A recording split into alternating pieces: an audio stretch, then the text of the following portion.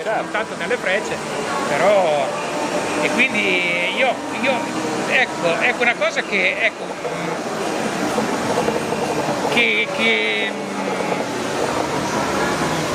mi, mi, mi, condiziona e mi stimola eh, è proprio quando tu devi ideare qualcosa di nuovo.